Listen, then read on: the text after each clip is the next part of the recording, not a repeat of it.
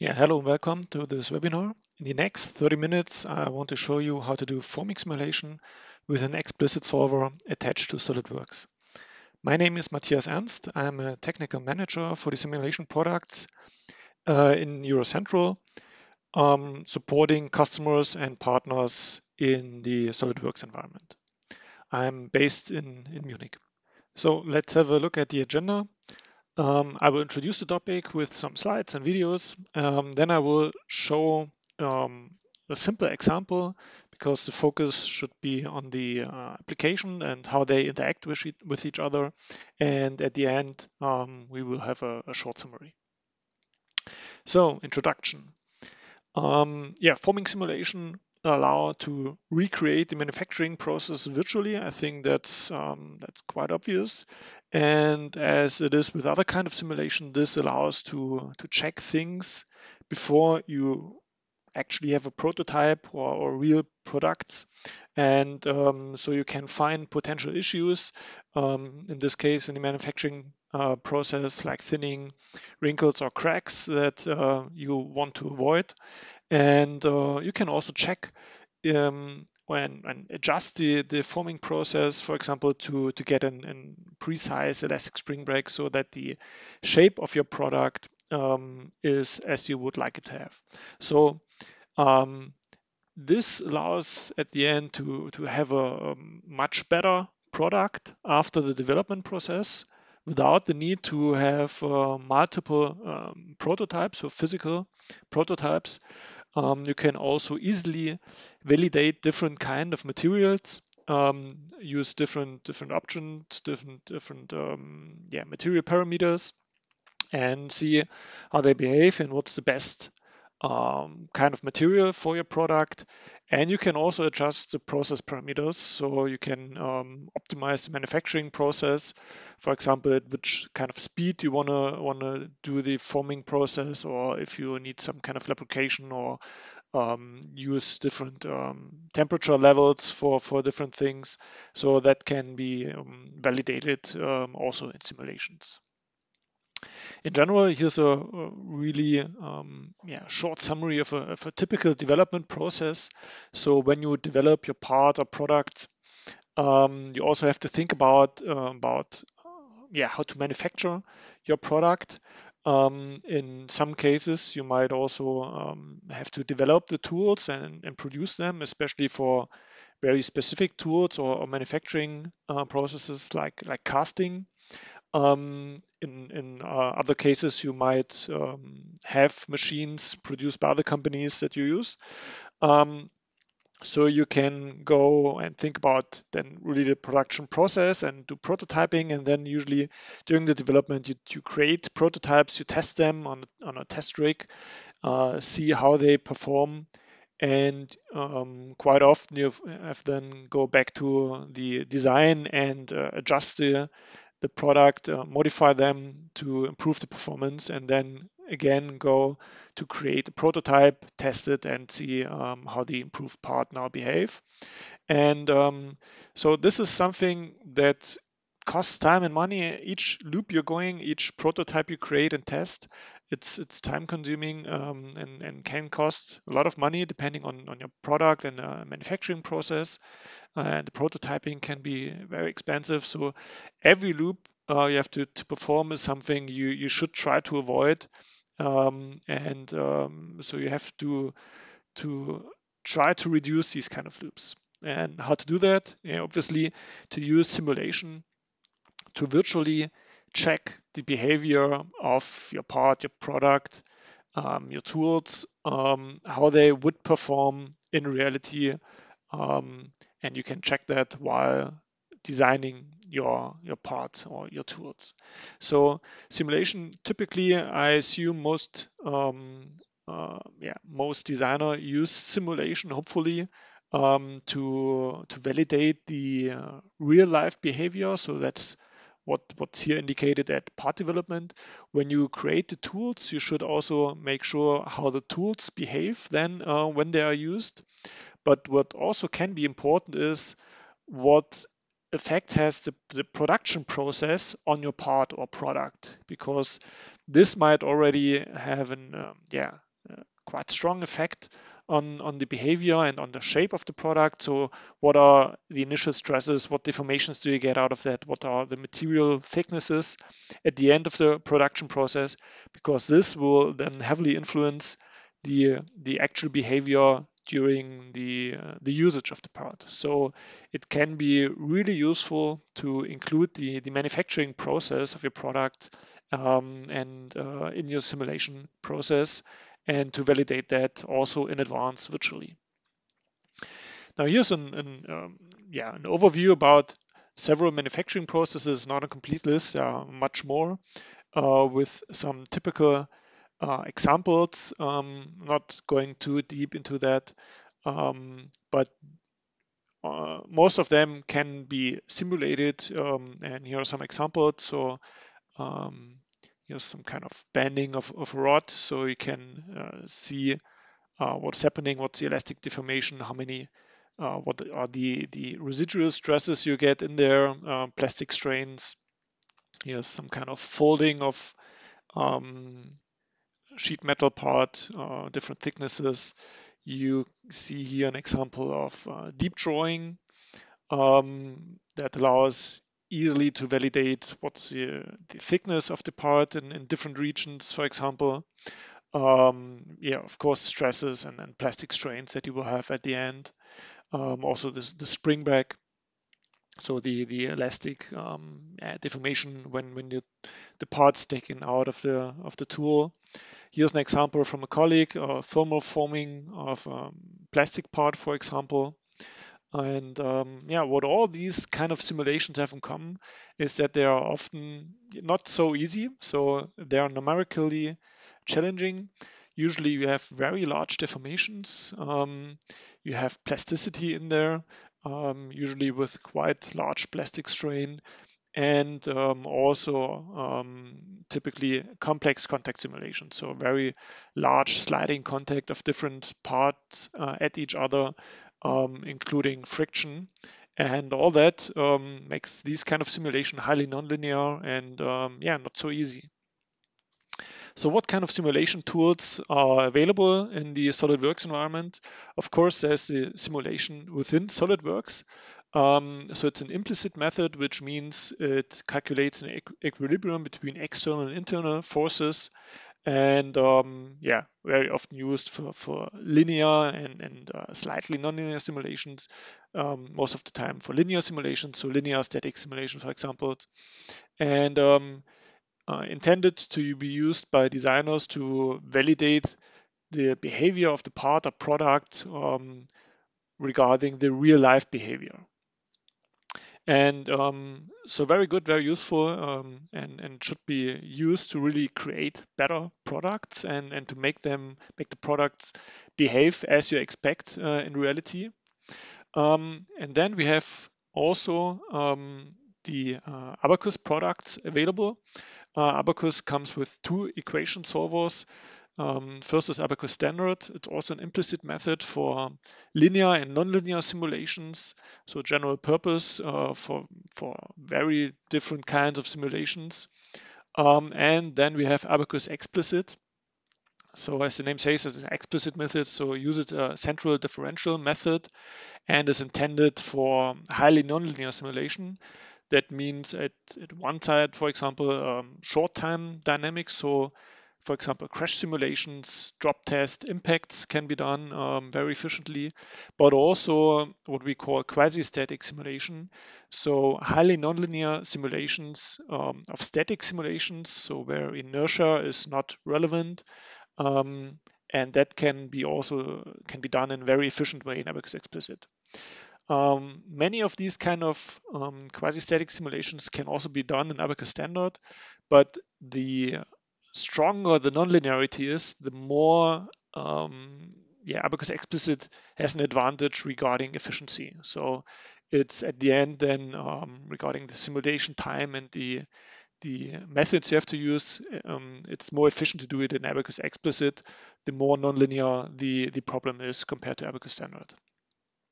So the examples you've seen so far and that you will see in the next uh, slides and videos they are done with Abaqus Explicit. Um, uh, yeah, and So, but just to be um, just to be clear, Abaqus Explicit is not a, specialized forming process tool.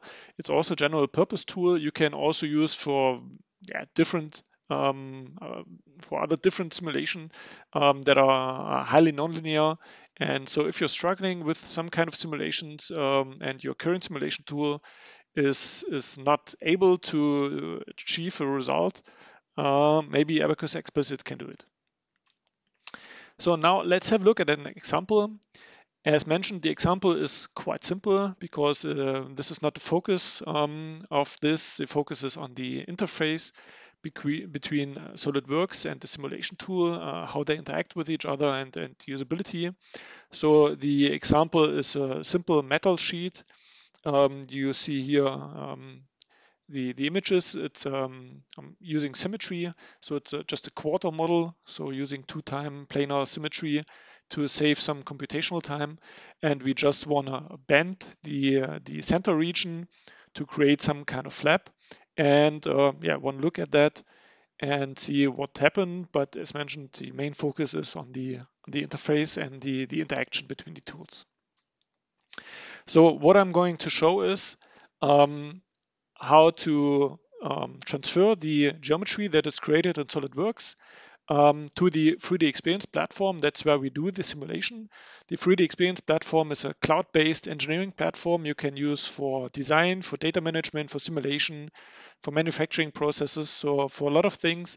But in this case, we will um, focus only on the simulation part. So when we've done the simulation in the 3D Experience platform, we will uh, modify the geometry in SolidWorks and update the geometry back into the 3D Experience platform and uh, rerun the simulation to, to show how the associativity works between these tools. So this video, yeah, showing how to open the part. I think that's uh, what most of the viewers are, are, familiar with. So that's regular SolidWorks um, installed on your machine. So opening that, you will see you see the the metal sheet, the the gray part that we're going to focus on. And with this side panel in SolidWorks, we can upload this product into the 3D Experience platform. So that's what uh, what's happening right now. Um, and this is um, now uploaded in in uh, the account of my company in the in the in the cloud. And from there, I can then uh, access these data in the next step. So we can close SolidWorks if we like, or just a product, and then we go on. So what do we do in the next step? We go to the 3D Experience platform, we open that assembly, uh, we prepare the geometry for the simulation. In this case, I create a mid-surface for the sheet metal part um, because it's created as a solid, but for the simulation, I want to create um, the mid surface to use shell elements to save computational time because the part is quite thin. So it makes sense to use shell elements for the simulation. And I also want to assign a material that I've already created and uh, it in the uh, in the 3D Experience platform, and um, yeah, assign these material um, to the to the parts. So we see the 3D Experience platform. I'm uh, opening the geometry I've uploaded into the cloud. And uh, so we see our, uh, our product. I now focus on the sheet metal part and um, I insert a uh, kind of derived geometry that's associative to the original geometry from SolidWorks, um, but something I can modify because I cannot modify the original SolidWorks geometry because SolidWorks is the master of that. So in that derived geometry, I create the mid-surface. That's what's currently happening. Um, so that's done automatically. I hide the solid and I will then use the mid-surface later for the simulation. I now search for my material in the database that I've created and assign it to the part. I will also assign the uh, material then to the other parts. Uh, that's happening now. Um, the other parts, the tools, I will use as uh, rigid bodies, but to have uh, more realistic mass and inertia, um, I've assigned this material. Okay, So that was kind of the preparation of the geometry in the 3D Experience platform for the simulation. The material properties um, or the material that I've created in advance is a regular steel material. You see here two screenshots of the um, yeah of the dialog with the material data. So at the left side you see um, in the in the image the elastic behavior, so Young's modulus and Poisson ratio. And at the screenshot at the right you see a portion of the um, plasticity, so the curve um, that defines the plastic behavior um, and um, but as you can see in the uh, on the screenshots in the, the tree at the left side of, of each screenshot, you have um, also other possibilities, much more advanced possibilities for, for other materials, um, making them temperature dependent, for example, or including damage. So there are there are a lot of possibilities you can you can use. So in the next video, I want to create um, the simulation, so the first portion of that. So uh, it's like a two-step process. First, I want to assign some additional properties. Then I want to define the tools as rigid bodies because I don't care about the tools um, and to save computational time, I want to define them as rigid. And of course, I have to mesh all the parts. So that's what will happen in the next video. So I switch to an environment, uh, to an app where I can do these kind of things. I select the parts I want to use for the simulation. These guys, uh, this, um, in this case, I want to use all the parts, but if you have a larger assembly, you can only use um, subregions or specific parts. Um, I assign properties, in this case, for example, the shell thickness, but I'm not uh, defining a specific value, I say the thickness should be read out of the solid geometry and then used for the shell thickness um, that is used for the for the face that I've uh, created the mid surface. Now the rigid bodies are defined, um, so just indicating basically that these bodies um, cannot deform and I want to avoid the calculation of stresses and strains so to save some computation time. And the final step um, uh, in this first setup is to create the meshes. In this case, meshing is quite simple. The parts are very simple. So creating um, solid hex meshes for the tools and uh, creating a shell face mesh for the uh, mid surface.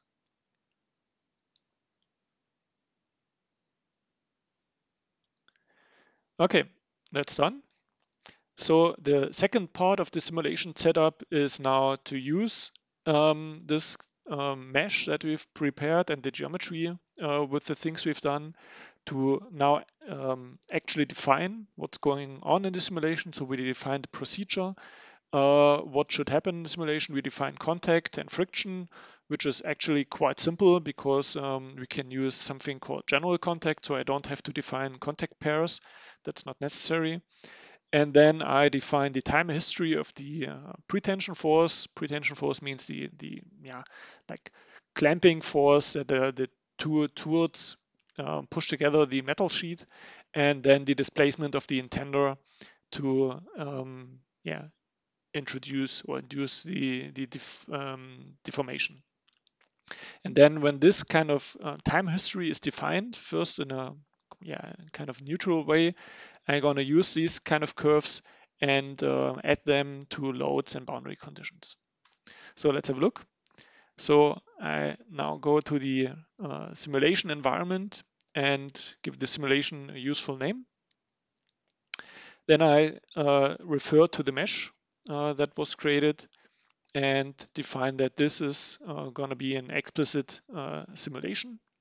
Then I define the time history, and so German name Kraft means force. So um, the force, the clamp down force of the two green parts is applied um, at 20% of the time, and the movement of the indenter, so the blue part, uh, will happen until 80% of the time, and then the part is uh, removed. Um, so we see the elastic spring back. So um, next is to define a frictional behavior, in this case using a friction coefficient of 0.2 and uh, add that into the general contact definition. Now defining some um, boundary conditions. So um, clamping the uh, lower green rigid body and um, restraining movement of the other two rigid bodies. So they can only move in the uh, Y direction. And um, next step is to add symmetry uh, to the metal sheet. So constrain the translational and rotational behavior. Uh, missed one checkbox here. Um, so um, the uh, second rotation should also be restrained to have precise symmetry constraint. And the um, next step is to apply the pretension force on the uh, upper rigid body.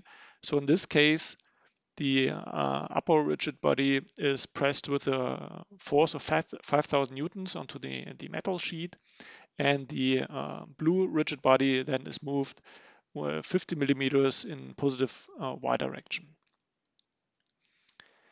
Okay, now final thing is to um, introduce a scaling factor um, to improve the performance of the simulation and check at the end that all definitions are up to date and all definitions have their reference to support and everything's okay. Now submitting and, and running simulation I've cut out. So here you see the interface. Uh, you can submit the simulation locally on your machine to run, for example, on, on four cores. But if you like, you can also um, run the simulation in the cloud on um, the cloud hardware and you see here an example how you can, can run a simulation, for example, on, on 32 cores. Um, just a quick look at, at some results. So you see some animation that left side. You see the, the thickness of the metal sheet. The initial thickness was one millimeter. So you have at the blue area on the left side, so thinning. So especially there where you have large strains and stresses. At the end of the cutout, um, the majority of the part then um, slightly only changes the thickness. At the right side, you see the stresses, in this case, the Mises stresses. And of course, you have the high stresses on at the end of the cutout.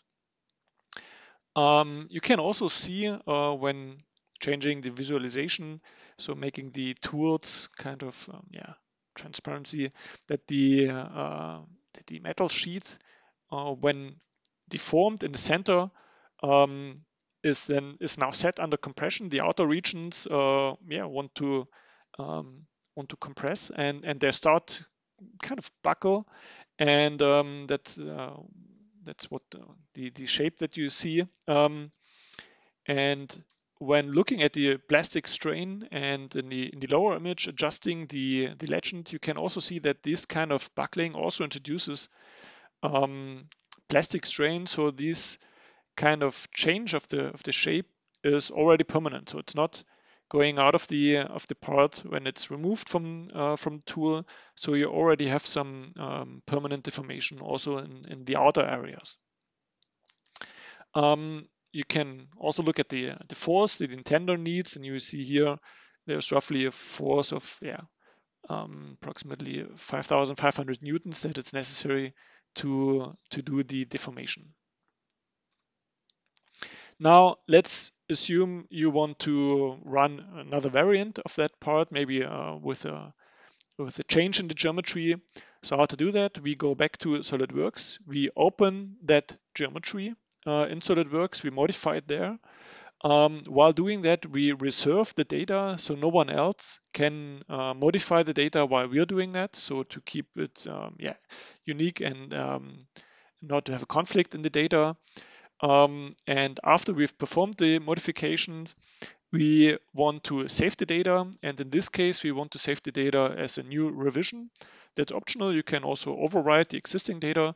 But if you want to keep the previous um, set of data, you can create a new revision. So they, they, um, the database keeps track of the history. And with the new revision, you uh, have a new state of your, of your product without losing the previous state. So let's have a look at that. Um, so in SolidWorks, I open the interface to the 3D Experience platform. I search for the product. I open it in, in SolidWorks.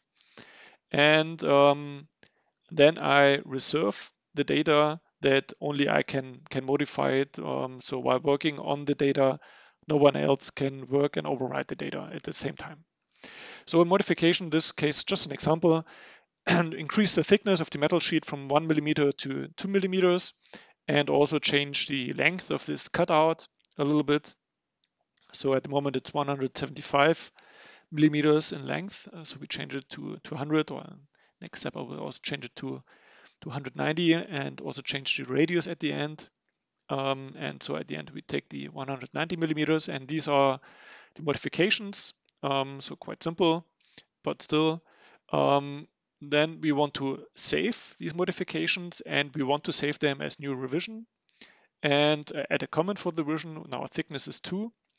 And after save is done, we uh, unreserve the data so they're available again for also colleagues to work on them. So now, since this is done, we can go back to the 3D Experience platform um, to update the simulation, but we don't want to overwrite the existing simulation, so we also create a revision of the simulation object. Um, and we refer to the new geometry, so also to the new revision of the simulation. I will explain a little bit more in detail in a second. And when this is done, we will update the simulation and um, check if any additional yeah, rework is necessary or if the update runs smoothly. So what are we doing with the re revisions? So we had our initial geometry, so revision A, and we created our initial simulation, so also in the simulation revision A. And of course, the simulation has the link to the product, to the geometry, because it's uh, necessary uh, that it's known what kind of product you're simulating. Uh, in the previous video, we've created, we've modified the geometry and we sa saved it as revision B. So we ha still have revision A, the original geometry, but we created a new revision. And um, our plan is to make a very similar thing with the simulation. So we want to create a, a revision B of the simulation that um, uses revision B of the product. So what we're going to do uh, first is to create a new revision of the simulation. Um, but in this new revision, the link to the geometry still points to the revision A because the content of the um, inside the simulation is not changed. So we open up uh, revision B of the simulation and exchange the geometry pointing um, to revision B instead of revision A.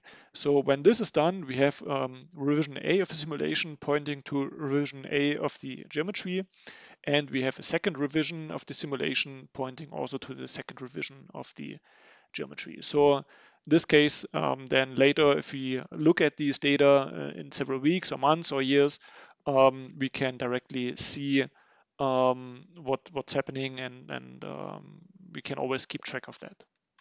So let's do that. So I um, back into the 3D Experience platform. I'm searching for the simulation.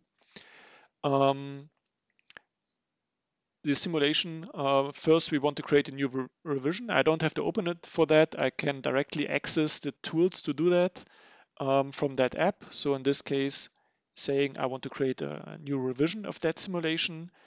Um, so the uh, the data that's used in the um, in a simulation is, is creating new revision. I'm opening that uh, new revision and you will see, um, I will pause the video then, that the geometry uh, reference in that simulation is still revision A of the product. Um, but now it's very easy to exchange that and we can say replace model by revision. We see the revision history and we take the second revision, the B revision with the thickness of 2 um, instead of the A revision. So we um, exchange the link and then um, we update the simulation and now the simulation uses the new geometry, new thickness um, the different length of the cutout. And what we also want to do is to change the, um, the pretension force. So the 5,000 newtons, we change to 10,000 newtons because now we have a, a thicker um, metal sheet of two millimeters.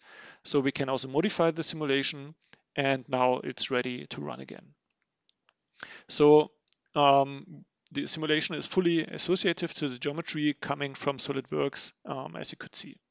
So having a look at, look at the results, the stresses are going a little bit down because of the um, yeah longer cutout. Even though the thickness of the uh, sheet metal part is, is a little bit higher, the cutout is longer, and this is Um, the effect is at the end uh, positive for the uh, Mises stresses.